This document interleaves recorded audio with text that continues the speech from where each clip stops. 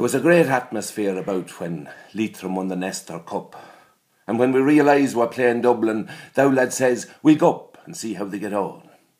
I booked a room on the Clonliffe Road. The in-calf heifer was sold in case she'd calve while we're away, and the neighbours might think we're neglecting things at home. I put up a flag down at the road. The last bit of a meadow was mowed, round baled and wrapped. We couldn't wait for the sun. We put the lock of sheep into the Iron Gate field. It was fenced well, sealed as tight as a drum, like the Dublin defence. And then the old fellow done a funny thing.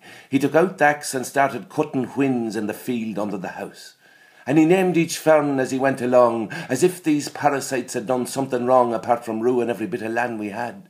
And he'd lift the axe and let it fall. Now, Charlie Redmond, get up and take you free. Oh, that'll put the running off your Sheedy. You'll not jump as high now, Murphy. And he worked away till the field was clean. There wasn't a Dublin player or sub to be seen standing. He threw down the axe and clenched his fist, looked around to see was there anyone he missed, and then he roared, Now, Dr. Pat O'Neill, see would you get any of them boys fit for Sunday? My mother bought a loaf and a pound of ham for the sandwiches, gone were the days of the jam, thanks be to God.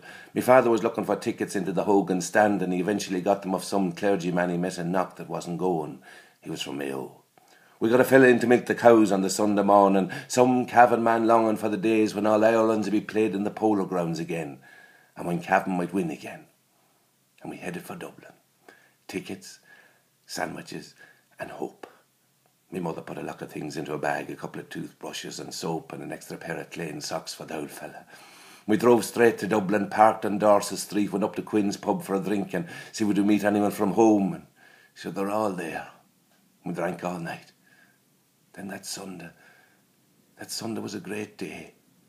The sun shone and Leitrim, County Leitrim, took its place among the other 31.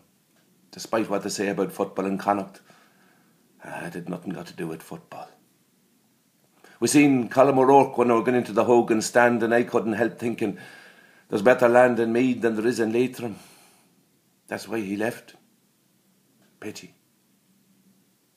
Ah, we were bet we were well bet, but the boys never gave up, and they'll be back again next year, maybe with a bit of luck. And so there's there's more to football than winning. There's there's there's the sandwiches, the flags, and the prospect of another year, and the memories, and the cheer.